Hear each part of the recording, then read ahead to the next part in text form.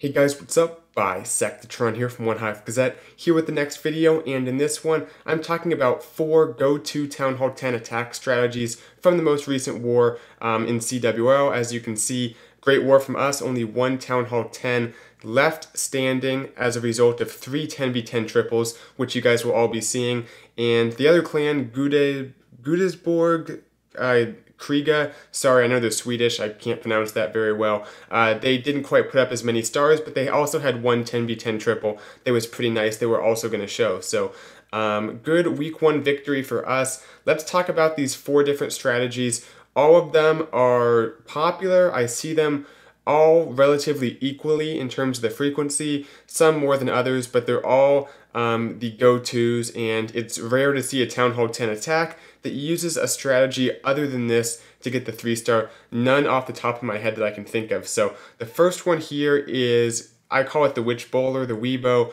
Um, you can call it what you want, but it is Devin here giving us a good example of it. And this is a solid max Town Hall 10 base. Nothing to to uh, to laugh at, anything like that. Very good base. Um, the thing that makes it vulnerable to this type of strategy is the Inferno Towers. The entire goal is to get in there and get both Inferno Towers taken out. Now, uh, Devin is doing a queen walk on one side because I believe there's a lava hound in the CC, which pretty much means do a queen walk on one side, let her take stuff out. Um, hopefully you don't have to invest any spells in her, just her ability when she needs it. That should be enough if you time it right and she goes in at the same time as the kill squad. Uh, healers, witches, and bowlers on the other side, and then that jump spell, or two jump spells rather, basically going to try to get in there, get both Inferno Towers taken out, and they're in those little compartments that makes it easy just to jump on in, get the king in there, get some bowlers in there, and get the job done, get those Infernos. And once the Infernos go down, you have both of them, you have the core kind of cleared out.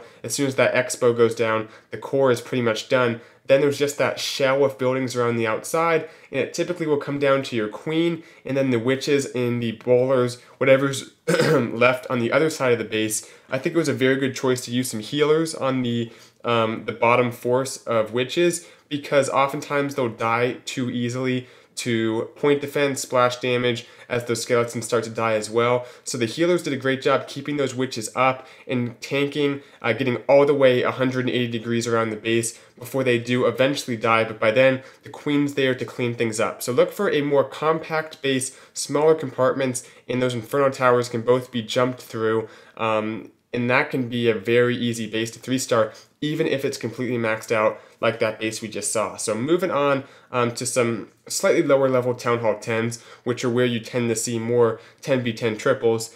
And this one is Devin again, his other Town Hall 10 account. So he's he's really running those 10s and doing it well. Uh, two, two for four, I think, this war, which is an extremely high hit rate for a Town Hall 10. So good job to him. And uh, this next attack by him was a hog attack. I think this one, not as popular as the first one, not going to be as popular as the miners we'll take a look at either, but still good against um, certain bases. And I love how he exploits the Golem CC. The, the reason people put a Golem in the CC is to defend against miners. So what this does is it opens up more possibilities with the queen joining that kill squad because the kill squad will kill that golem much more quicker, uh, much much quickly, much more quickly. there we go. Because the king, the bowlers, everything will target it, which allows the queen to be able to sit back once the golem's down, and in this case, take out both inferno towers. So some great base identification here,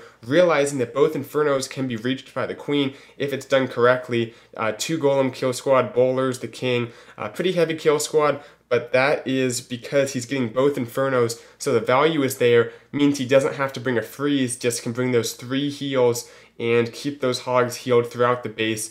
Uh, quite a few defenses they have to get through, but without any Inferno Towers, this one makes it much easier. So Awesome attack here to Devin. The Hogs make their way through under that last heal. The Queen does go down, but the Hogs will finish off the uh, the attack here. So look for that Golem in the CC as a possible uh, benefit to your attack in terms of bringing the Queen in your kill squad because the, the Lava Hound won't be there to distract the Queen and make her useless like it often is um, if you put the Queen in your kill squad but instead she'll be able to sit back as soon as that golem's done and take out whatever's there. In this case, both Infernos. So very nice uh, stuff there. Now this next one is the miner attack, and once again, bottom Town Hall 10 bases, it's almost automatic to hit them with miners. So if you are a low-level Town Hall 10, especially in um, CWL type matchups where you see people really getting those three stars on Town Hall 10s, look to have a good anti-miner base. Maybe if the demand is there, I'll try to build one for you guys to give a good example. There's a few key things like having ground skeletons, having some storages in your base, not just defenses, stuff like that, that I can elaborate on more if needed. But those bottom Town Hall 10s are very popular for this strategy. We have Boudreaux, who's been a consistent Town Hall 10 force for us the last few weeks in terms of 10v10 triples, getting another one here. And I love the uh, balloons in the haste, then the baby dragon behind.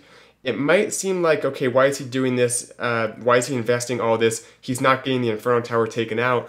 But the reason is, well, there's so many reasons. First, it funnels the queen. He has to funnel the queen anyway. It funnels the king and the um, the king walk around the outside of the base and the other side, and it allows him to drop a test miner to try to trigger a giant bomb, which he does, and trigger one of those ground skellies to let his queen deal with. So he's getting so much value. Plus, he clears out a direct path for his miners to directly target that Inferno Tower. And by the way, any giant bombs that are behind the Inferno Tower don't matter at all because as soon as the miners take out the Inferno Tower, they dip underground and they leave that compartment. And as long as they're not in that compartment, the giant bombs in there won't trigger. They can't detonate with a wall between them and the miners. So basically what it allows them to do is let those miners take out the Inferno Tower quickly, efficiently, without taking damage. That's what you want to have. He used a rage spell in the core, which I'm still not sold on, especially with the amount of miners he had. I would have liked another heal or a rage for the king and some bowlers with the king or something. I'm not sold on raging up the miners, especially against lower level Town Hall 10s, and there's not a whole lot in the core, just like the CC, um, a few defenses that he was raging them over. There's a time and a place for the rage, I think, with the miners. This may not have been it. That being said, the base was still crushed, but typically you want to look for, or the miner's going to engage the um, Inferno Tower, maybe the Queen, some Skellies, a lot of high HP, just a lot of stuff at once. I don't think that was really the situation um, when he dropped the rage, but I think it was nonetheless a good attack and a great example of a a consistent Town Hall 10 strategy against these lower level bases, especially, which can be used on max bases as well as any attack strategy can that you guys are going to see today. So, last one here is one by, we'll call them GK, um, just to to not butcher their name again. Um, this is a LaLoon attack, and it comes in many different shapes and sizes, but the basic principles are going to be the same. You have to probably be the most creative in this attack strategy, more so than any other attack, because you have to find a, a creative way to use your heroes,